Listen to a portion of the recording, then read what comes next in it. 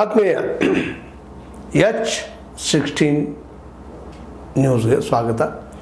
ನಾನು ನಿಮ್ಮವ M I ಅಥವಾ ಮಲ್ಲಪ್ಪ ಚೇತಾರ್ ಆರಂಭದಲ್ಲೇ ಒಂದು ವಿಡಿಯೋ ನೀವು ನೋಡ್ರಿ. ಅದು ನಮ್ಮ ರಾಹುಲ್ ಗಾಂಧಿಯವರು ಮುಂಬೈ ಮತ್ತು ರಾಂಚಿಯಲ್ಲಿ ಮಾಡಿದಂಥ ಪತ್ರಿಕಾಗೋಷ್ಠಿಯಲ್ಲಿ ಈ ಒಂದು ದೃಶ್ಯ. ಅದನ್ನು ಮೊದಲು ನೋಡಿ. एक है तो सेफ़ है।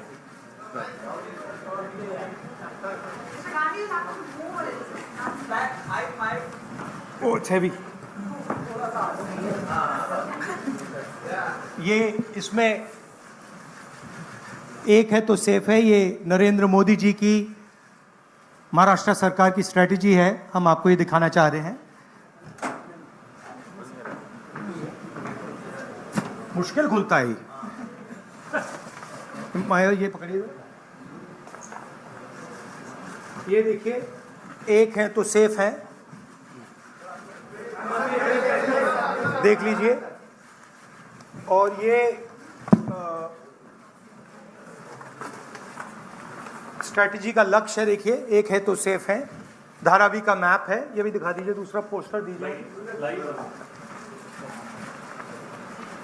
ये एक एक लाख करोड़ रुपए का धंधा चल रहा है।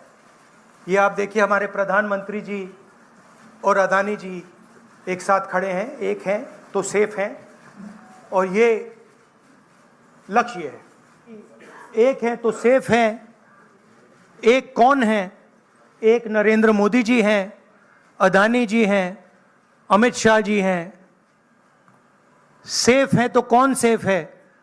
अदानी जी सेफ हैं कष्ट किसको होगा धारावी की जनता को होगा नुकसान किसका होगा धारावी की जनता को होगा जो हिंदुस्तान की स्मॉल और मीडियम इंडस्ट्रीज हैं जिसका एक चिन्ह धारावी है उसको एक व्यक्ति के लिए खत्म किया जा रहा है ಇದರಲ್ಲಿ ಒಂದು ಮುಖ್ಯ ಸಂದೇಶ ಬಿ ಜೆ ಪಿಗರು ಕೊಡ್ತಾ ಇದ್ದಾರೆ ಏಕ್ ಹೈ ತೋ ಸೇಫ್ ಹೈ ಇದ್ರ ಮೇಲೆ ಅನಾಲಿಸಿಸ್ ಮಾಡ್ತಾ ಇದ್ದಾರೆ ಜೊತೆಗೆ ಕಟೆಂಗೆ ತೋ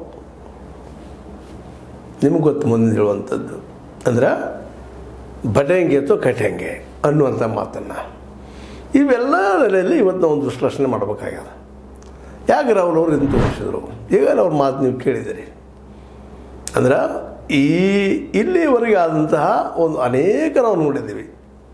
ಏನಪ್ಪ ಅಂತಂದ್ರೆ ಈ ಒಂದು ಇಂಟರ್ವ್ಯೂಗಳನ್ನಾಗಲಿ ಮತ್ತೇನೂ ಆಗಲಿ ತಮ್ಮ ಪಕ್ಷದ ಬಗ್ಗೆ ತಮ್ಮ ನಿಲುವುಗಳನ್ನಾಗಲಿ, ವಿಶೇಷವಾಗಿ ಇಲ್ಲಿವರೆಗೆ ನಾವು ನೋಡಿದ್ದು ಬಿ ಜೆ ಪಿಯಿಂದ ಒಂದು ಏನಪ್ಪ ಧ್ರುವೀಕರಣ ಮಾಡುವಂಥದ್ದು ಹಿಂದುತ್ವ ನೆಲೆಗಟ್ಟಿನಲ್ಲ ಕಾಂಗ್ರೆಸ್ಸಿಗರು ಜಾತಿ ನೆಲೆಗಟ್ಟಿನಲ್ಲ, ಇನ್ನೊಂದು ನೆಲೆಗಟ್ಟಿನಲ್ಲ, ಏನೇನು ಇಬ್ಬರು ಮತ್ತು ಇವರು ಜಾತಿ ನೆಲೆಗಟ್ಟಿನಲ್ಲ ಮಾಡ್ತಾ ಬಂದಿದ್ದಾರೆ. ಇಲ್ಲೇ ನಮ್ಮ ಇತಿಹಾಸದಲ್ಲೇ ನಡೆದದ್ದು. ಇದು ಪ್ರಥಮ ಬಾರಿಗೆ ಒಂದು ಹೊಸ ರೀತಿಯಂಥ ಒಂದು ಏನಪ್ಪ ಅಂತಂದ್ರೆ ವಿಶ್ಲೇಷಣೆ ಅಲ್ರಿ ಅಥವಾ ಪ್ರಚಾರ ಅಲ್ರಿ ಅಂತ. ಏಕೈದು ಸೇಫ್ ಒಂದಾಗಿದ್ದರೆ ನಾವು ಸುರಕ್ಷಿತವಾಗಿರ್ತೀವಿ ಅಂತ ಧಾರ್ಮಿಕ ನೆಲೆಗಟ್ಟಿನೆಲ್ಲ ಒಂದು ಹಿಂದೂ ಮತ್ತು ಮುಸ್ಲಿಮಾನರೊಳಗೆ ಒಂದು ಒಡಕನ್ನು ಉಂಟು ಮಾಡುವಂಥ ಕೆಲಸವನ್ನು ನಮ್ಮ ಬಿ ಜೆ ಪಿಗರು ಮಾಡ್ತಾ ಇದ್ದಾರೆ ಅನ್ನೋದು ಈಗಾಗಲೇ ನಾವು ಅದನ್ನು ನೋಡ್ತಾ ಬಂದಿದ್ದೀವಿ. ಮಾಬ್ ಲಿಂಚಿಂಗ್ ಆಗಿರ್ಬೋದು ಮತ್ತೇನು ಆಗಿರ್ಬೋದು ಲ್ಯಾಂಡ್ ಜಿಹಾದ್ ಆಗಿರ್ಬೋದು ಲವ್ ಜಿಹಾದ್ ಆಗಿರ್ಬೋದು, ಇವೆಲ್ಲ ನೆಲೆಯಲ್ಲಿ ಇಂಥ ಒಂದು ಪ್ರಚಾರ ಕಾಂಗ್ರೆಸ್ಗಳು ಅದಕ್ಕೆ ಕೌಂಟ್ರಾಗಿ ಜಾತಿ ನೆಲೆಗಟ್ಟಿನಲ್ಲ. ಇವರು ಮಾಡ್ತಾ ಇರೋದು ನೋಡ್ತಾ ಇದ್ದೀವಿ. ಜೊತೆಗೆ ಜಾತಿ ಗಣತಿ ಆಗಬೇಕಂತ ಇತ್ತೀಚೆಗೆ ಅಂತ ಇದ್ದಾರೆ. ಯಾಕಂದರೆ ಈ ಜಾತಿ ಗಣತಿ ಮತ್ತೊಂದು, ಇದು ಇಲ್ಲಿಯ ಈ ದೇಶದ ಸಮಾಜವಾದಿ ನೆಲೆಗಟ್ಟಿನಲ್ಲಿ ಬಂದಂತಹ ಜನರ ಅದರಲ್ಲೂ ವಿ ಪಿ ಸಿಂಗ್ ಆಗಿರ್ಬೋದು, ಮತ್ತು ಮುಲಾಯಂ ಸಿಂಗ್ರವರಾಗಿರ್ಬೋದು ಲಾಲು ಪ್ರಸಾದ್ ಯಾದವ್ ಯಾದವರಾಗಿರ್ಬೋದು ಇವರೆಲ್ಲ ಒಂದು ಈ ವಿಚಾರದಲ್ಲೇ ಜಾತಿಗಳ ನೆಲೆಗಟ್ಟಿನಲ್ಲೇ, ಒಂದು ಒ ಬಿ ಸಿ ನೆಲೆಗಟ್ಟಿನಲ್ಲಿ ರಾಜಕೀಯ ಮಾಡಿದ್ದು ನೋಡ್ಕೊಂಡು ಬಂದಿವಿ. ಅದನ್ನು ಹೇಳಿದ್ದನ್ನು ಕೇಳೋದು ಬಂದಿದ್ವಿ ಆದರೆ ಈ ಸಲ ಮತ್ತು ರಾಹುಲ್ ಗಾಂಧಿ ಅವರು ಇದರಿಂದ ಡಿಫ್ರೆಂಟ್ ಆದಂಥದ್ದು. ಏಕ್ ಹೈ, ಯಾರಿರಲಿ? ಅದಾಣಿ. ಅದಾಣಿ ಅವರೊಬ್ಬರಿದ್ರೆ ಆದ ಬಾಯಿ ದೇಶ ಶೇಪ್ ಇರ್ತದಂತ. ಸುರಕ್ಷಿತ ಇರ್ತದ. ಅನ್ನುವಂಥ ಮಾತನ್ನು ಒತ್ತಿ ಹೇಳ್ತಾ ಇದ್ದಾರೆ, ಪ್ರಚಾರ ಮಾಡ್ತಾ ಇದ್ದಾರೆ. ಇವರೊಬ್ಬರಿದ್ರೆ ಸಾಕಪ್ಪ ನಾವು ಉದ್ಧಾರ ಆಗ್ತೀವಿ ಅಂತ. ಉದ್ಧಾರ ಆಗಿದ್ರ? ಇವರೊಬ್ಬರಿಂದ ಅನ್ನುವಂಥದ್ದು ಪ್ರಥಮ ಬಾರಿಗೆ ಒಂದು ಆರ್ಥಿಕ ನೆಲೆಗಟ್ಟಿನಲ್ಲೇ ಎಕನಾಮಿಕ್ ನೆಲೆಗಟ್ಟಿನಲ್ಲೇ ನಮ್ಮ ರಾಹುಲ್ ಗಾಂಧಿಯವರು ವಿಶ್ಲೇಷಣೆ ಮಾಡ್ತಾ ಇದ್ದಾರೆ. ಏನಾಗ್ಯದಪ್ಪ ಈ ಒಂದು ಕಳೆದ ಈ ಒಂದು ಹತ್ತು ವರ್ಷಗಳಿಂದ, ಇದು ಹನ್ನೊಂದನೇ ವರ್ಷ, ನಮ್ಮ ಮೋದಿಯವ್ರು ಬಂದ ಮೇಲೆ ಏನಾಗಿದೆ ಈ ದೇಶದ್ದು? ನಾವು ಯಾವ ಹಂತಕ್ಕೆ ಬಂದಿದ್ದೀವಿ ಅಂತೇಳಿ. ಈಗ ನೋಡಿ ಎಲ್ಲದರಲ್ಲೂ ಏಕ ಅದಾನೆ ಅಥವಾ ಅಂಬಾನಿ. ಏನು ಕಾರ್ಪೊರೇಟ್ಗಳು ಬಿಟ್ಟು ಮತ್ತೆ ಯಾರೂ ಇಲ್ಲ. ಇವತ್ತು ನೋಡಿರಿ, ಇವತ್ತು ಮೀಡಿಯಾ ಕಾರ್ಪೊರೇಟ್ ಕೈಯಾಗ ಇವತ್ತಿನ ಬಂದರುಗಳ ಕಾರ್ಪೊರೇಟರ್ ಕೈಯಾಗ ಇವತ್ತಿನ ರೈಲ್ವೆಗಳ ಕಾರ್ಪೊರೇಟರ್ ಕೈಯಾಗ ಇವತ್ತಿನ ವಿಮಾನಗಳ ಕಾರ್ಪೊರೇಟರ್ ಕೈಯಾಗ, ಇವತ್ತು ಖನಿಜಗಳು ಕಾರ್ಪೊರೇಟರ್ ಕೈಯಾಗ, ಇವತ್ತು ಕಾಡುಗಳ ಸಹಿತ ಕಾರ್ಪೊರೇಟರ್ ಕೈಯಾಗ. ಯಾಕೆ ಖನಿಜ ಕೊಟ್ಟಿದ್ರೆ ಮತ್ತು ಕಾಡು ಹೋಗಿ ಬಿಡ್ತಾರಲ್ರಿ ಕಲ್ಲಿದ್ದಲು ಕೊಟ್ಟಿದ್ದಾರೆ ಮತ್ತೊಂದು ಕೊಟ್ಟಿದ್ದಾರೆ ಎಲ್ಲನೂ ಅದಾನಿ, ಅಂಬಾನಿ, ಅದಾನಿ, ಅದರಲ್ಲೂ ಅದಾನಿ. ಅದಕ್ಕೆ ಇವ್ರು ಒಬ್ಬರಿದ್ರೆ ಎಲ್ಲ ಇಡೀ ದೇಶ ಉದ್ಯೋಗ ಸಿಗ್ತದೆ, ಎಲ್ಲ ನೆಮ್ಮದಿ ಇರ್ತಾರೆ ಅಂಥೇಳಿ ಈಗ ಬಿ ಜೆ ಪಿಗರು ಮಾಡ್ತಾ ಇದ್ದಾರಪ್ಪ ಅಂತೇಳಿ ಅಂದರೆ ಏಕಕಾಲಕ್ಕೆ ಅವರು B J P R S S ಮೋದಿಯವ್ರನ್ನ ಮೂರು ಜನರಿಗೆ, ಅದ್ರ ಜೊತೆ ಅದಾನಿ ಅವರು ಕೂಡಿದೆ ಈ ಅದಾನಿ ನಡ್ಕೊಂಡು ಇವರೆಲ್ಲರೂ ಸೇಫ್ ಇದ್ದಾರೆ, ನಾವು ಸೇಫ್ ಇಲ್ಲ ಅನ್ನುವಂಥ ಮೆಸೇಜ್ ಕೊಟ್ಟಿದ್ದಾರೆ ಇವತ್ತು. ಇದು ಹೊಸ ರೀತಿಯಾದಂಥ ಪ್ರಚಾರದ ಕಲೆಯಲ್ಲಿ ಇದಕ್ಕೆ ವಿರೋಧ ಮಾಡಿದ್ದಾರೆ ಬಿ ಜೆ ಪಿಗರು ಯಾಕೆ ನೀವೇನು ದೋಸ್ತಿ ಇಲ್ಲೇನ್ರಿ ಅದಾನಿ ಜೋಡಿ, ಅಂದ ಅಂಬಾನಿ ಜೋಡಿ, ನೀವು ಬಿಟ್ಟು ಬರ್ರಿ, ಹೊರಗೆ ಅವ್ರ ಜೊತೆಗೆ ಹೇಳ್ತಾನೆ ಬಿಟ್ಟು ಅವರು ಹೇಳಿದ್ದಾರೆ. ತಪ್ಪಲ್ಲ ಅದು. ಹೌದು, ನೀವು ಅವ್ರು ಟೀಕಾ ಮಾಡ್ತಾ ಇದ್ದೀರಿ. ಹಾಗಾದ್ರೆ ನೀವು ಬಿಟ್ಟಿದ್ದೀರಿ ರೀ ಅಂಬಾನಿ, ಅದಾನಿ ದೋಸ್ತಿ ಅವ್ರನ್ನ. ಇಲ್ಲ, ಕಾಂಗ್ರೆಸ್ಸು ಬಿಟ್ಟಿಲ್ಲ. ಅದಕ್ಕೆ ಸಾಕ್ಷಿನೇ ನಮ್ಗೆ ಅದಾವ ಹಿಂದಿದ್ದಂಥ ರಾಜಸ್ಥಾನದ ಚೀಫ್ ಮಿನಿಸ್ಟರ್ ಇದ್ದಂಥವ್ರ ಕಾಲದಲ್ಲಿ ಶೆಖಾವತ್ ಅವ್ರ ಕಾಲದಲ್ಲಿ ಆಗಲಿ, ನಂತರದಲ್ಲಿ ಬಂದಂಥ ಕಾಲದಲ್ಲಿ ಆಗಲಿ ಅನೇಕರು ಬಂದು ಹೋಗಿದ್ದಾರೆ ಅವ್ರ ಕಾಲದಲ್ಲೂ ಆಗಿದ್ದಾವ. ಕಾಂಗ್ರೆಸ್ ಜೊತೆ ಸಂಪರ್ಕ ಆಗಿದ್ದಾವ. ಮತ್ತು ಅದಾನಿ ಕೆಲಸ ಮಾಡ್ಕೊಂಡಿದ್ದಾರೆ ಇವ್ರ ಜೊತೆಗೆ. ಅನೇಕ ಕಾಂಗ್ರೆಸ್ ರಾಜ್ಯಗಳಲ್ಲಿ ಸಹಕಾರದ ಅವ್ರದ್ದು. ಹೀಗಾಗಿ ನೀವು ಅವ್ರಿಗೆ ಸಹಕಾರ ಬೆಳೆಸಿದವ್ರು. ನಾವೇನಲ್ಲ. ಅದಕ್ಕೆ ನಿಮಗೂ ಏಕೈ ಅಂತ ಏನೋ ಕಾಮೆಂಟ್ ಮಾಡಿದ್ದಾರೆ ಅದೇನೋ ಇರಲಿ ಪ್ರಥಮ ಬಾರಿಗೆ ಇನ್ನೊಂದು ಭಾಳ ಗಮನಿಸ್ಬೇಕಾಗಿದ್ದೇನಪ್ಪ ಅಂದ್ರೆ, ಇವತ್ತಿನ ಕಾಂಗ್ರೆಸ್ಸಿಗೂ, ಅಂದರೆ ರಾಹುಲ್ರ ಕಾಂಗ್ರೆಸ್ಸಿಗೂ, ಹಿಂದಿನ ಕಾಂಗ್ರೆಸ್ಸಿಗೂ ಅಜಗಜಾಂತರ ಅಂತರ ಅಂತ.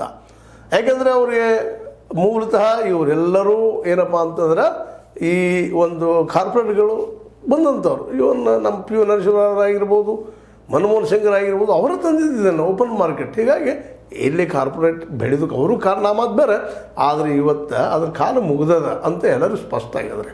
ಅವರಿಂದ ಈ ದೇಶ ಉದ್ಧಾರ ಆಗೋದಿಲ್ಲ ಈ ಕಾರ್ಪೊರೇಟ್ಗಳಿಂದ ಕೇವಲ ಅವ್ರದಷ್ಟೇ ಉದ್ಧಾರ ಆಗ್ತದೆ ಸ್ಪಷ್ಟ ಆಗಿದೆ. ಏನು ಎರಡು ನೂರಿಂದ ಐದುನೂರು ಜನ ಇರ್ಬೋದು ಕಾರ್ಪೊರೇಟ್ಗಳು. ಅವ್ರಿಗಾಗಿ ಈ ದೇಶದ ಏನೋ ಅನ್ನೋಂಗೆ ಆಗೋಗ್ಬಿಟ್ಟದ ಅದಕ್ಕೆ ಕಾರ್ಬನ್ ಒಪ್ಪಿದ್ರೆ ಸಾಕ, ಇಡೀ ದೇಶ ಉದ್ಧಾರ ಆಗ್ತದೆ ಅಂತೇಳಿ ವ್ಯಂಗ್ಯ ಬಗ್ಗೆ ಟೀಕೆ ಮಾಡಿದ್ದಾರೆ ಅದನ್ನು. ಟೀಕೆ ಮಾಡಿದ್ರಿಂದ ಇದು ಹೊಸ ರೀತಿಯಾದಂಥ ಆರ್ಗ್ಯುಮೆಂಟ್ ಸ್ಟಾರ್ಟ್ ಆಗಿದೆ. ಎಕನಾಮಿಕ್ ನೆಲೆಗಟ್ಟಿನಲ್ಲಿ ಇದನ್ನು ವಿರೋಧ ಮಾಡ್ತಾ ಇದ್ದಾರೆ ಜನಕ್ಕೆ ತಿಳಿಸಿ ಹೇಳ್ತಾ ಇದ್ದಾರೆ. ಎಲ್ಲಿವರೆಗೆ ಈ ಒಬ್ಬ ಏಕ ವ್ಯಕ್ತಿ ಇದಲ್ಲ ಇವರು ಹೋಗುವವರೆಗೆ ಇಲ್ಲಿ ನಮಗೆ ಏನಪ್ಪ ಅವಕಾಶ ಇಲ್ಲ. ತೊಂಬತ್ತು ಪರ್ಸೆಂಟ್ ಜನ ನಾವೆಲ್ಲ ಬಡತನದಲ್ಲಿ ಇರುವಂಥದ್ದು ನಮಗೆ ಇವತ್ತು ದುಡಿಬೇಕಂದ್ರೆ ಉದ್ಯೋಗ ಸಹಿತ ಇಲ್ಲ ಅನ್ನೋದು ಎಲ್ಲರಿಗೂ ಗೊತ್ತಂತ ಗೊತ್ತಾದಂಥ ವಿಷಯ ಅದು. ಹೇಳ್ತಾರೆ, ಮೊನ್ನೆ ನಮ್ಮ ಇನ್ಫೋಸಿಸ್ ಹೆಡ್ ಅವರು, ಏ, ದಿನದ ಹತ್ತು ಸಾವಿರ ದುಡಿಬೇಕು ಅಂತ ಹೇಳಿದರು. ನೀವು ಕೇಳಿದಿರಿ ಅದನ್ನು? ಇನ್ಫೋಸಿಸ್ ಹೆಡ್ಡು ನಾರಾಯಣ ಮೂರ್ತಿ ಅವರು. ಹೇಳಿದರು, ದಿನಕ್ಕೆ ಹತ್ತು ಸಾವಿರ ದುಡಿಯೋ ಕೆಲಸ ಏನಂದರೆ ಹತ್ತು ತಾಸದ್ದು ಜನ ನಡೀತಾರೆ ಇವತ್ತು. ಬಡತನದಲ್ಲಿ ಒದ್ದಾಡ್ತಾ ಇದ್ದಾರೆ. ಕಡೆ ಹೋಗ್ಪ ಹತ್ತು ಅಲ್ಲ ಹನ್ನೆರಡು ನಾವು. ಉದ್ಯೋಗ ಕೊಡೋದ್ರೆ ಉದ್ಯೋಗ ಕೊಡ್ತಾ ಇಲ್ಲ. ಎಷ್ಟು ಜನ ಕಾರ್ಪೊರೇಟ್ಗಳು ಎಷ್ಟು ಜನ ಉದ್ಯೋಗ ಕೊಟ್ಟಿದ್ದಾರೆ? ಎಷ್ಟು ಜನ ಇವತ್ತು ಉದ್ಯೋಗ ಮಾಡ್ತಾ ಇದ್ದಾರೆ? ಇನ್ಫೋಸಿಸ್ ನಾನು ಮೂರ್ತಿ ಹತ್ತು ತಾಸು ದುಡಿತೀರಿ ಬೇಡ, ಇಪ್ಪತ್ತು ತಾಸು ದಿನದ ಎಪ್ಪತ್ತು ತಾಸು ಅಲ್ಲ ವಾರ ದಿನದ ಇಪ್ಪತ್ತು ತಾಸು ದುಡಿರಿ. ವಾರಕ್ಕೆ ಬರೀ ಎಪ್ಪತ್ತು ತಾಸು ಯಾಕೆ? ಇನ್ನೂ ಹೆಚ್ಚು ದುಡಿರಿ. ಏ, ಮೋದಿಯವ್ರು ದುಡಿತಾರೆ ದಿನ ವಾರಕ್ಕೆ ಒಂದು ನೂರು ತಾಸು ಅಂತ. ಮೋದಿಯವರು ದುಡಿದಕ್ಕೆ ಇನ್ನೊಬ್ಬರು ದುಡಿದಕ್ಕೆ ಭಾಳ ಅಂತರ ಅದ. ಯಾಕಂತಂದ್ರೆ ಮೋದಿ ಅವರದ್ದು ಏನಿತ್ತು ಸಹಿತ ಅವರು ಸಾಕಷ್ಟು ಸಹಾಯಕರಿದ್ದಾರೆ. ಮತ್ತೆ ಈಗ ಕಾಮೆಂಟ್ಗಳು ಬರ್ತಾ ಇದ್ದಾವೆ ಸೋಷಿಯಲ್ ಮೀಡಿಯಾದಲ್ಲಿ ಅದರ ಬದಲಾಗಿ. ಅದೇನಿರಲಿ ಇವತ್ತು ಆ ಕಾರ್ಪೊರೇಟ್ಗಳ ಮೇಲೆ ಅಟ್ಯಾಕ್ ಮಾಡಿದಂಥ ರೀತಿ ಅನ್ನೋದಲ್ಲ ನವನವೀನಾಗಿದಂತೆ ಅವರು. ಜನರಿಗೆ ತಿಳಿಸುವಂಥ ಕೆಲಸ ಮಾಡ್ತಾ ಇದ್ದಾರೆ.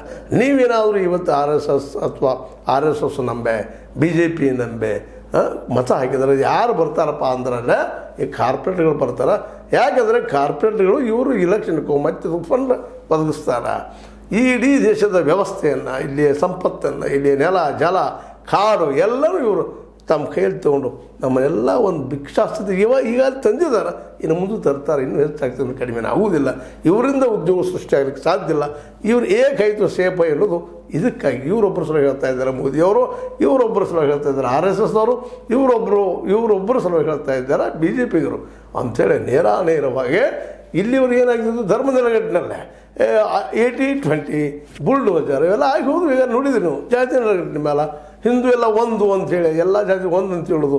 ಅಲ್ಲಿ ರಾಜಕೀಯ ಏನ್ಬಿಡೋದು ಎಲ್ಲ ನೋಡಿದ್ದೀವಿ ಈಗ ನಾವು. ಯಾರು ಹಿಂದೂ ಒಂದು ಅಂತೇಳಿ ಇಡೀ ಎಲ್ಲ ಹಿಂದೂ ಸಮುದಾಯದ ಮಕ್ಕಳಿಗೆ ಇವತ್ತು ಉದ್ಯೋಗ ಕೊಡೋ ಸ್ಥಿತಿಯೊಳಗೂ ನಾವಿಲ್ಲ. ಹೋಗ್ರಿ ಮುಸ್, ಇಸ್ಲಾಂ ಅಥವಾ ಮುಸ್ಲಿಂ ಧರ್ಮದ ಮಕ್ಕಳಿಗೆ ಬಿಡ್ರಿ ನೀವು. ಅಟ್ಲೀಸ್ಟ್ ಹಿಂದೂ ಧರ್ಮದ ಮಕ್ಕಳಿಗಾದರೂ ಎಲ್ಲರಿಗೂ ಉದ್ಯೋಗ ಕೊಡ್ಲಿಕ್ಕೆ ಆಯ್ತಾ? ಈ ಕಳೆದ ಹತ್ತು, ಹನ್ನೊಂದು ವರ್ಷಗಳಲ್ಲೇ ಅನ್ನೋದನ್ನು ನಾವು ವಿಮರ್ಶೆ ಮಾಡ್ಕೊಳ್ಳೋದು ಅಂದ್ರೆ ಹಿಂದುತ್ವದ ನೆಲೆಗಟ್ಟಿನ ನಾವು ಉದ್ಯೋಗ ಕೊಡ್ತೀವಿ, ಮತ್ತೇನೋ ಮಾಡ್ತೀವಿ, ಎಲ್ಲನೂ ಮಾತಾಡಿದ್ರಿ, ಏನೂ ಕೊಟ್ಟಿಲ್ಲ. ಅದಕ್ಕೆ ಇವರೆಲ್ಲ ಕೊಟ್ಟಿದ್ದು ಯಾರಿಗೆ ಅಂದ್ರೆ ಅದಾನಿ ಅಂಬಾನಿ ಅಂತವ್ರಿಗೆ. ಅವರಿದ್ರೆ ಸೇಫ್ ಅಂತೇಳಿ ಹೇಳ್ತಾ ಇದ್ದಾರೆ. ಯಾಕಂದ್ರೆ ಪಾರ್ಟಿ ಬಿ ಜೆ ಪಿನೂ ಸೇಫ ಅವರು ಸೇಫ ಅಂತೇಳಿ ಮತ್ತು ಇನ್ನೊಂದು ಮಾತ್ರ ನಾವು ಅಸಮಾಧಾನ ಇರ್ಬೋದು ರಾಹುಲ್ ಗಾಂಧಿ ಅವ್ರಿಗೆ. ಇವ್ರಿಗೂ ಪಾರ್ಟಿ ಫಂಡ್ ಕೊಟ್ಟಿಲ್ಲ, ಮಾಡಿಲ್ಲ ಅನ್ನೋ ಕಾರಣ ಇರ್ಬೋದು. ಇಲ್ಲಂತಲ್ಲ, ಯಾಕಂದ್ರೆ ಇವರು ಸನ್ಯಾಸಿಗಳಲ್ಲ. ಇವರಲ್ಲೂ ಸಹಿತ ಅನೇಕ ಕಾರ್ಪೊರೇಟ್ಗಳು ಇವ್ರಿಗೆ ದುಡ್ಡು ಹಾಕಿದ್ದಾರೆ, ಇವ್ರು ಪಾರ್ಟಿ ಫಂಡ್ ಕೊಟ್ಟಿದ್ದಾರೆ. ಹೀಗಾಗಿ ಆದರೆ ಯಾವ ಪ್ರಮಾಣದಲ್ಲಿ ಬಂದಿಲ್ಲ ಅನ್ನೋದು ಒಂದು ಅಸಮಾಧಾನದಿಂದ ಹಿಂಗೆ ಮಾತಾಡಿದಾರಂತ ಬಿ ಜೆ ಪಿಗೆ ಹೇಳ್ಬೋದು. ಏನು ತಪ್ಪಲ್ಲ ಅದ್ರೊಳಗೆ. ಯಾಕಂದ್ರೆ ವಿಮರ್ಶೆ ಎಲ್ಲ ಮಕ್ಕಳಿಂದ ಆಗಬೇಕಾಗ್ತದೆ. ಆ ಎಲ್ಲ ನೆಲೆಯಲ್ಲಿ ಹಾಂ ಬಟೆಂಗೆ ಅಥವಾ ಕಟೆಂಗೆ ಅನ್ನುವಂಥದ್ದು ಮಾತಾಗಿರ್ಬೋದು. ಅಥವಾ ಏಕೈತು ಸೇಫ್ ಐ ಅನ್ನುವಂಥ ಮಾತಾಗಿರ್ಬೋದು.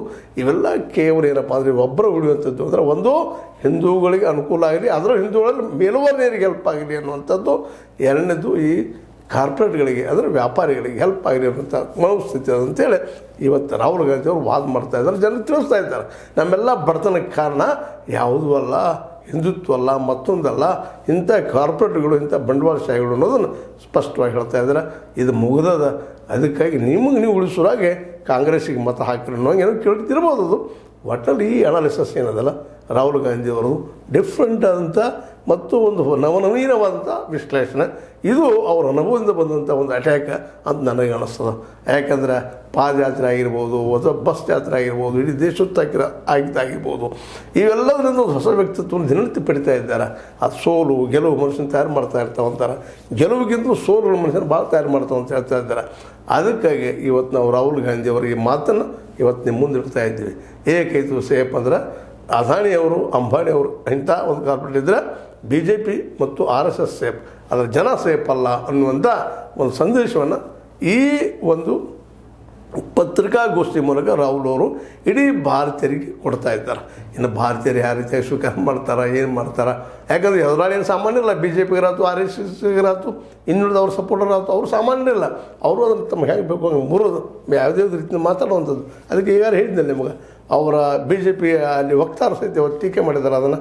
ಇಲ್ಲ ಇದು ಕಾಂಗ್ರೆಸ್ದವರು ಅವರಿಗೂ ಸಪೋರ್ಟ್ ಮಾಡಿದವರು ಕಾರ್ಪೊರೇಟ್ಗಳು, ನಮ್ಗೆ ಅಷ್ಟೇ ಅಲ್ಲ ಅದಾರೆ ನಮ್ಮ ಅಷ್ಟೇ ಅಲ್ಲ, ಅವ್- ಅವರು ಕಾಂಗ್ರೆಸ್ಸಿಗರು ಹೌದು ಅನ್ನುವಂಥ ಮಾತು ಮಾತಾಡಿ, ಅದರ ಒಂದು ಪ್ರಭಾವವನ್ನು ಕಡಿಮೆ ಮಾಡಲಿಕ್ಕೆ ಪ್ರಯತ್ನ ಮಾಡಿದ್ದಾರೆ ಅದೇನೂ ಮಾಡಲಿ, ಈ ಕಾರ್ಪೊರೇಟ್ ನಿಜವಾದ ಏನು ಸಮಸ್ಯೆ ಐತಿ ಅನ್ನೋದನ್ನು ಹೆಚ್ಚು ತೋರಿಸಿದ್ದಾರೆ ಆ ಸಮಸ್ಯೆಗೆ ನಮ್ಮ ಜನ ಯಾವ ರೀತಿ ಪ್ರತಿಕ್ರಿಯಿಸ್ತಾರೆ, ಅದರಲ್ಲೂ ಮಹಾರಾಷ್ಟ್ರ, ಅದು ಆರ್ಥಿಕ ಮುಂದುವರಂಥ ರಾಜ್ಯ, ಅಲ್ಲಿ ಜನ ಏನು ಉತ್ತರ ಕೊಡ್ತಾರೆ ನೋಡ್ಬೇಕಾಗಿದೆ ಅಂತ ಹೇಳ್ತಾ, ಇದು ಈ ಒಂದು ಹೊಸ ರೀತಿಯ ಅರ್ಥ ಮತ್ತು ಧರ್ಮ ಇವುಗಳ ಮಧ್ಯದಲ್ಲಿ ಜನ ಯಾವುದನ್ನು ಆಯ್ಕೆ ಮಾಡ್ತಾರೆ ಅನ್ನೋದು ಅವ್ರಿಗೆ ಬಿಟ್ಟಿದೆ ಅಂತ ಹೇಳ್ತಾ.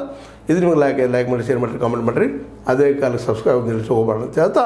ಎಚ್ ಸಿಕ್ಸ್ಟೀನ್ ನ್ಯೂಸ್ ಇದು ಸತ್ಯದ ಕೈಗನ್ನಡಿ ವಂದನೆಗಳು.